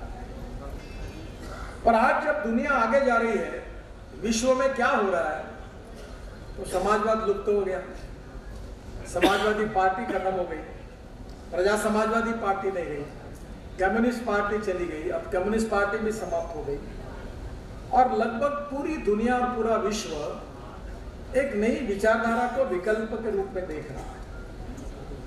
और एक तरफ़ भारतीय संस्कृति, इतिहास और विरासत के आधार पर मूल्याधिष्ठित जीवन पद्धति, मूल्याधिष्ठित परिवार पद्धति के आधार पर आज हमारी भारतीय संस्कृति की पूरे वर्ल्ड में एक बहुत बड़ी एक्सेप्टेबिलिटी है। और आज आपको आश्चर्य लगेगा, जो लोग हिंदुस्तान में रहते वो नहीं समझ पाते। और स्वामी विवेकानंद जी की भविष्यवाणी शिकागो के भाषण में जो भाषण था, वो बहुत सुंदर भाषण था। उन्होंने कहा था कि मैं यहाँ इसलिए नहीं आया हूँ कि मेरा धर्म श्रेष्ठ है या मेरे विचार श्रेष्ठ है। मैं ये बताने के लिए आया कि आप जिस धर्म पर विश्वास रखते हो, जिस भगवान पर विश्वास रखते हो, वो धर्म, वो भगवान श्रेष्ठ है, वो धर्म श्रेष्ठ है। और किसी भी धर्म में किसी भी एक भगवान की पूजा करने से अंततो गत्वा आपका जो कुछ नमस्कार है, वहीं तक पहुँचता है। संस्कृत में एक सुभाषित है। आकाशात पतितम तोयम यथा गच्छति सागरम सर्वदेव नमस्कार केशवम प्रति गच्छति। हमारे मराठी में बहुत सुंदर अनुवाद एक कवि ने इसका किया था कि, पडे खाल तिजे न पाणी, जसे सागरा तेच मिळून जाई नमस्कार कोण्याही देवा सकेला, परी शेवटी तो पोचतो केशवा. यानी जैसे आसमान से पानी गिर जाता है, फिर वो नदी में जाता है, और नदी अंतिमतः सागर को मिल जाती है, वैसे किसी भी भगवान को हमने अगर नमस्कार किया, किसी भी उपासना पद्धति के आधार पर किया तो अंततो गत्वा वो हमारे उसी भगवान को मिलता है। हमारी सहिष्णुता, सहनशीलता सर्व समावेशकता हमारा वैशिष्ट है। हम विस्तारवादी नहीं है। हमारे आजू बाजू के कुछ देश हमें भूटान में गया था। हमारे नज़दीक देशों के मन में ये भावना नहीं है कि हम जाकर उनकी ज़मीन ले लेंगे। हम विस्तारवादी दृष्टिकोण के नहीं है। पर उसके साथ साथ एक बात भी ज़रूरी है। मृत्युंजय करके एक मराठी में शिवाजी सावंत साहब की बहुत अच्छी किताब है। उसका हिंदी अनुवाद हुआ है। बहुत सुंदर है। उसमें उन्होंने एक अच्छी बात कही है भारती करने के जीवन पर वो किताब थी। उन्होंने कहा है कि सामर्थ्यवान व्यक्ति ही शांतिता प्रस्तापित कर सकता है। दुर्बल व्यक्ति ने शांति पर कितने भी भाषण दिए तो दुनिया कभी सुनती नहीं। और यही बात भगवत गीता में कही गई है। भगवान श्री कृष्ण ने यही कहा है कि यदा यदा ही धर्म से ग्लानिर्भवती भारत दुत्थान धर्म से सदा जब जब धर्म का रास होता है तो उसका रक्षण करने के लिए सज्जन शक्ति का रक्षण करने के लिए मैं होता हूँ। और इसलिए समाज में जो सच्चाई है जो सही है उसका रक्षण करना और अच्छे मूल्यों पर समाज जीवन में मूल्याधिष्ठित जीवन पद्धति मूल्याधिष्ठित परिवार पद्धति के आधार पर हमारी समाज की रचना है। हमें इसका महत्व नहीं है। मैं ब्रिटिश पार्लियामेंट में गया था। मैंने बोला उगाही और प्रधानमंत्री जी के यहाँ चाय पीने के बाद मैं विदेश मंत्री के घर चाय पीने के लिए ऑफ़िस में गया तो उन्होंने मुझे एक प्रश्न पूछा। उन्होंने पूछा कि आपके देश की सबसे बड़ी समस्या कौन सी है? मैंने कहा गरीबी है भुखमरी है बेरोजगारी है। और फिर मैंने उनको प्रश्न पूछा कि आपके देश की सबसे बड़ी समस्या कौन सी है? तो उन्होंने कहा कि हमारे यहाँ देश की सबसे बड़ी समस्या है कि हमारे यंग लड़के और लड़कियाँ शादी नहीं करते। लिविंग रिलेशनशिप में रहते हैं। और इसलिए भविष्य में कैसा समाज होगा, ये समझ में नहीं आ रहा। वी आर कंफ्यूज और आगे उन्होंने मुझे पूछा कि आपके देश में गरीबी है, भुखमरी है, बेरोजगारी है, फिर ये समस्या नहीं है? तो मैंने कहा, नहीं के बराबर है। बोले, ऐसा क्यों? तो मैंने उनको उसको जवाब दिया कि हमारे गरीब ज़रूर है, पर गरीब के घर में भी संस्कार होते हैं। इंडिया दृष्टि के जीवन पद्धति और परिवार पद्धति की संस्कार, यही हमारी ताकत है। माता पिता का सम्मान करना, गुरुओं का सम्मान करना, सच बोलना, नैतिकता का आचरण करना, ये मूल्य है जीवन मूल्य है लाइफ वैल्यूज़ है। और आप में से अनेक लोग इसका जीवन में अनुकरण करते हैं, और यही हमारी ताकत है। हमारा योग विज्ञान, हमारा स्पिरिचुअल साइंस हमारा अध्यात्म, हमारी जीवन पद्धति आज पूरा विश्व इसके तरफ़ देख रहा है। परसों मेरे यहाँ एक इटाली से एक सज्जन आए थे, पाँच सात इटालियन महिला। और उन्होंने मुझे संस्कृत में पूरा श्री सूक्त फटाफट पढ़ के बताया। तो इटाली में उनका आश्रम का खूब लोग फॉलोअर है। आज पूरे विश्व में लोग बड़े आकर्षण के रूप से भारतीय विचारधारा संस्कृति की तरफ़ देखते हैं। पर एक बात ज़रूर है कि हमारी मूल्याधिष्ठित जीवन पद्धति, जैसे भगवती दर जी ने गाय के इकोनॉमिक्स पर किताब लिखी, रामायण पर लिखी। और समय के साथ जो कल है, वो आज नहीं और आज है, वो कल नहीं। परिस्थितियाँ बदल रही है, पर बेसिक फीचर्स नहीं बदल रहे। हमारे रविनंदन सिंह जी एडवोकेट जनरल रह चुके उनको केशवानंद भारती केस का रेफरेंस पता और उसमें सुप्रीम कोर्ट का निर्णय आया कि silent features of the constitution cannot be change वैसे, हमारे संविधान के जो भावार्थ है, वो जो बदल नहीं, बदलता नहीं। वैसे हमें भी हमारे लोकतंत्र का, हमारे जीवन पद्धति का भावार्थ नहीं बदलना चाहिए। और इसलिए आने वाले समय में, ये जो विशेष रूप से हमारी जो विचारधारा है, उसके आधार पर राष्ट्रवाद, ये हमारा आत्मा है। जिसके लिए वाजपेयी जी ने अपने जीवन में अपनी पत्रकारिता को समर्पित किया था कि हम राष्ट्र की सर्वांगीण उन्नति और विकास के लिए काम करेंगे। और मैं जब बीजेपी का अध्यक्ष था तो मैंने तीन बातें आदमी कार्यालय के पीछे सामने एक बोर्ड लगाया। नेशनलिज्म, राष्ट्रवाद। और राष्ट्र का सर्वांगीण विकास करना है, प्रगति करनी है तो सुशासन और विकास गुड गवर्नेंस एंड डेवलपमेंट अगर हम सत्ता में रहेंगे तो गुड गवर्नेंस के द्वारा देश का विकास करेंगे, सुशासन के साथ देश का विकास करेंगे। और तीसरी बात लिखी थी, अंत्योदय। जो समाज के आखिरी पायदान पर खड़ा है, जो सामाजिक, आर्थिक, शैक्षिक दूसरे पिछड़ा हुआ है, जिसके पास रहने के लिए मकान नहीं है, खाने के लिए रोटी नहीं है, शरीर पर कपड़ा नहीं है, उस दरिद्र नारायण को हम भगवान माने, और हम उसकी निरंतर सेवा करते रहे। और जिस दिन उस व्यक्ति को रोटी, कपड़ा और मकान मिलेगा, उसी दिन हमारा कार्य पूरा होगा। ये पंडित दीनदयाल उपाध्याय जी का आर्थिक चिंतन अंत्योदय हमारा उद्देश्य है। कभी कभी मुझे बड़ा संकोच होता है। जी राकेश जी बोल रहे थे तो मैंने क्या किया? मेरे घर का थोड़ी पैसा नहीं आपका पैसा है, जनता का पैसा है, जनता का राज है, लोकतंत्र है, आपका, आपके आपके पास पहुँचा। मुझे एक बार बीबीसी में इंटरव्यू तो मैं मुंबई में उस समय मैंने वर्ली बांद्रा सीलिंग प्रोजेक्ट बना और मुंबई पुणे एक्सप्रेस हाईवे और पचपन उड्डान पुल बनाए थे। तो उन्होंने मुझे पूछा कि भाई, तुमने ये काम क्यों किया? What is your inspiration what is your motivation आप ये क्यों कर रहे हो? तो मैंने उस समय धीरू भाई अंबानी से पंगा लिया था और वो छत्तीस करोड़ का टेंडर रिजेक्ट करके सोलह करोड़ में काम किया था।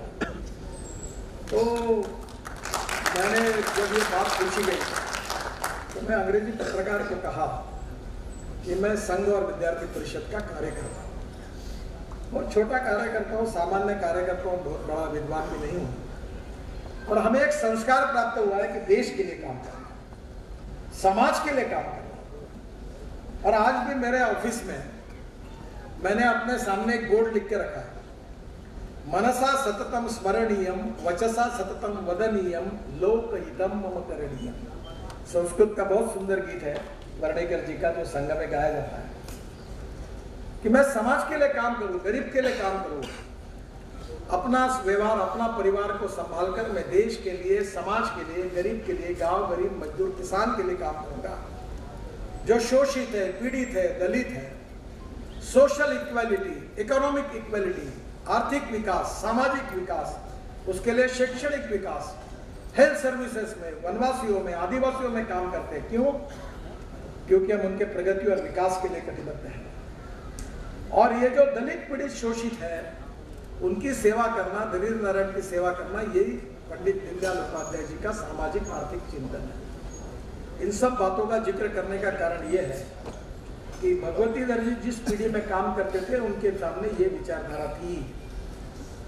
परिस्थितियाँ बदली है।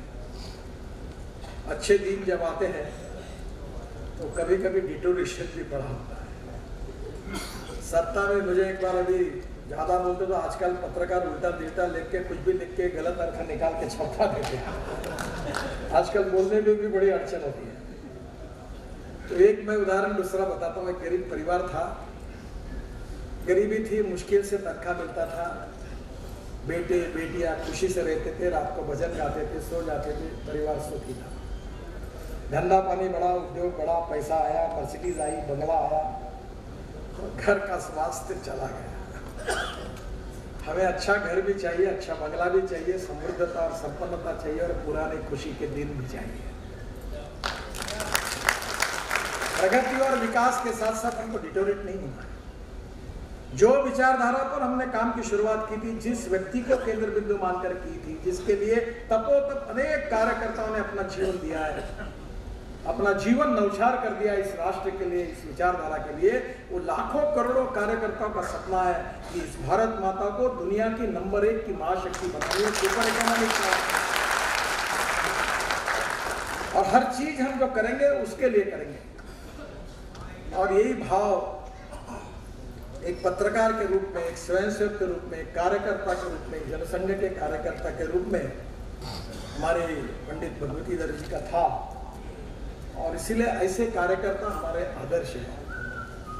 और उन्हीं जीवन से प्रेरणा लेकर हम अपने जीवन में भी उन्हीं के जैसा काम करते रहेंगे, ये उनको सही श्रद्धांजलि होगी। और इसलिए मुझे मौका मिला। मैं भी छोटा सा कार्यकर्ता हूँ। इसी प्रवाह में काम करता हूँ, न मैं प्रचारक हूँ, न त्यागी हूँ, न बलिदानी हूँ।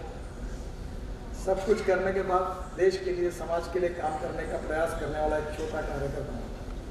हम काम करते रहेंगे, हम चलते रहेंगे, एक दिन ऐसा आएगा कि हमारा देश सभी क्षेत्र में आगे जाएगा। एक बात ज़रूर कहूँगा कि जिसके लिए हमको ये सब विचारधारा के आधार पर there is a difference between modernisation and westernisation हमें वेस्टर्नाइजेशन होना नहीं है, पर आधुनिकरण करना है। Innovation entrepreneurship science technology resource skill and successful practices we name it as knowledge and conversion of knowledge into wealth in the future और दूसरी बात no one is best no material is best it is depending upon the appropriate leadership and appropriate technology that you can convert best into wealth कोई कार्यकर्ता बेकार नहीं है। उसको बनाने में हम कम पड़े, ऐसा समझकर उसके ऊपर काम करना। है मैं मज़ाक में कहता हूँ, मैं सात साल पहले नागपुर में हमारा टॉयलेट का पानी हमने बेचना शुरू किया। और सात साल से टॉयलेट का पानी बेचकर, महापौर जी, आप भी आइए। हमको 300 करोड़ रुपए साल के मिलते हैं। और अभी मैं टेक्नोलॉजी का उपयोग करके उस पानी से ग्रीन हाइड्रोजन निकालने की कोशिश कर रहा हूँ और ट्रक और बसेस और कार नागपुर की पानी से निकले हुए हाइड्रोजन पर चले ये कोशिश कर तो मूल्याधिष्ठित जीवन पद्धति, संस्कार पद्धति, नैतिकता, नैतिक मूल्य, इतिहास, संस्कृति और विरासत अध्यात्म ये स्ट्रेंथ है। और ज्ञान, विज्ञान, तंत्र विज्ञान इनोवेशन ये नॉलेज है।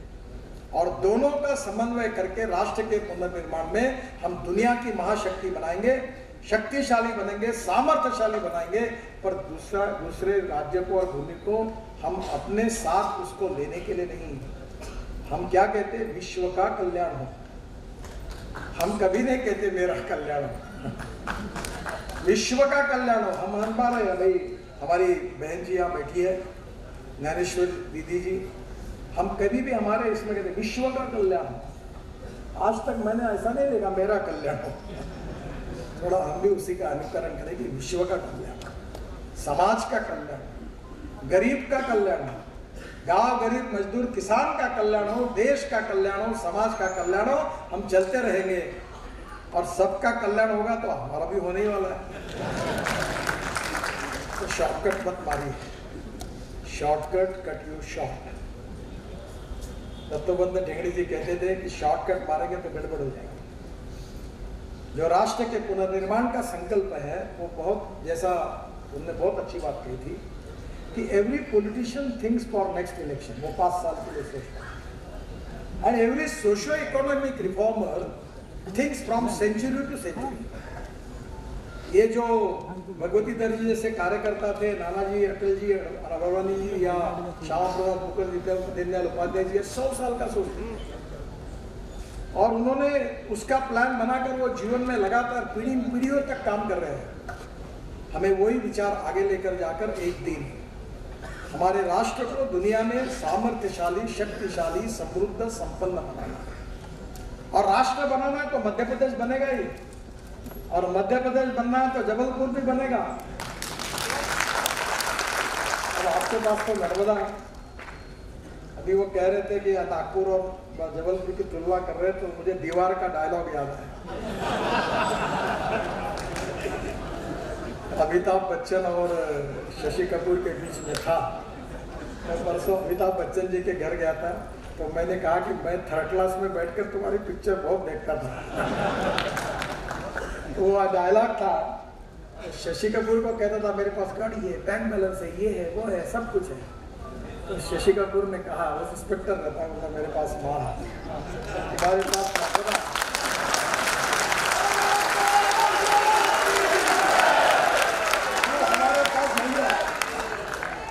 मैं हेलीकॉप्टर से देख रहा था, कितना सुंदर ग्रीनरी कितनी अच्छी नर्मदा। और आप सब लोगों के प्रयासों से जबलपुर भी आगे जाएगा मध्य प्रदेश भी आगे जाएगा और हिंदुस्तान भी आगे जाएगा। हम सब लोग पूरा सहयोग करेंगे। फिर से एक बार पंडित रविंद्र देव वाजपेयी जी को मैं अपनी आदरांजलि अर्पित करता हूँ। बहुत बहुत धन्यवाद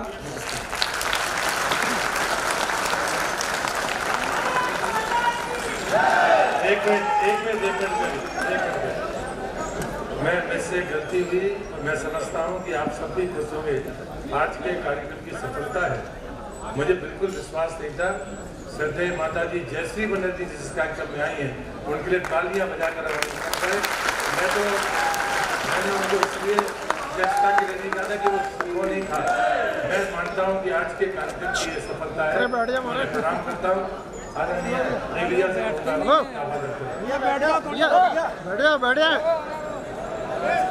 थोड़ा एक मिनट शांति और रखेंगे। अभी भी गडकरी अपने भाषण में कहा कि उनका वज़न जो है एक सौ पैंतालीस नब्बे किलो हो गया। लेकिन गडकरी की वजनदारी बढ़ती जा रही है। और आज के इस कार्यक्रम का जो स्वरूप था वो कार्यकर्ता प्रेरित था। वो इस पूरे कार्यक्रम का जो मूल भावना थी उसमें भी कहीं न कहीं कार्यकर्ता का भावना पसंदीदा है मैं बहुत अभिभूत हूँ।